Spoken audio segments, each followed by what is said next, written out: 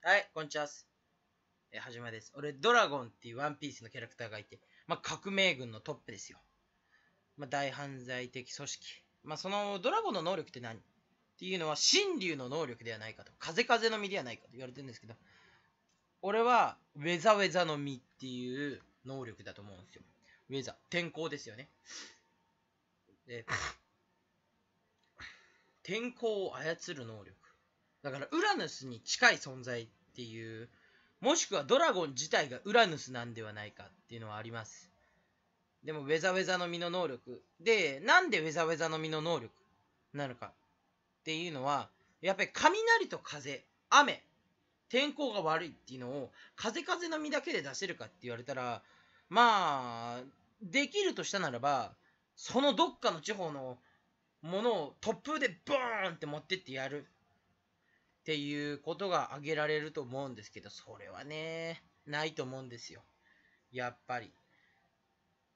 うーん、それはね、でもそれも一理あるんですけど、だったら、そんなめんどくさいことする？だったらウェザーウェザーの実で、その、直射的に天候を悪くするみたいな能力で。それだけならある。で、そこだけの話だったら、風風の実なんですけど、まあ、ジーザス・バージェスだっけ？あの、あの、海軍の、あ、違う違う違う、黒ひげ海賊団の、あの、筋肉ムキムキのやつね。ウィーハッハッハの、なんですけど、あのー本部をぶっ壊しましたみたいな感じになっちゃうじゃん。その、あの、革命軍本部を壊したってなってる。でも絶対にみんな死んでるわけないじゃん。バージスなんかにやられるわけないじゃん。じゃぶっちゃけだってサボが倒してるんだもん。って考えたら、それは虚像。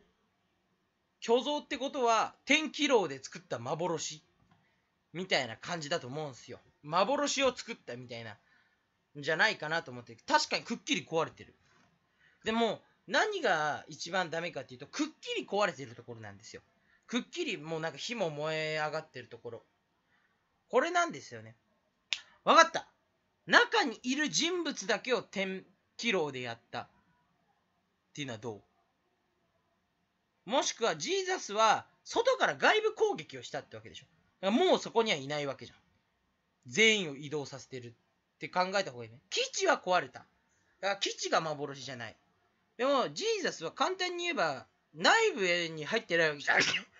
勝てないじゃん。だから、その、だから風風の実なのかな。やっぱりね、ウェザウェザの実だとウラヌスになっちゃうんですよ。うん。っていう考察動画じゃん。どっちつかずでしたって話。帝王がどうか、どうもしてください。すいませんでした。だから、その、ウェザウェザだったらウラヌスにかぶっちゃうじゃん。古代兵器。だから、風風の実っていうのは確かに一理ありますね。はい。すいませんでした。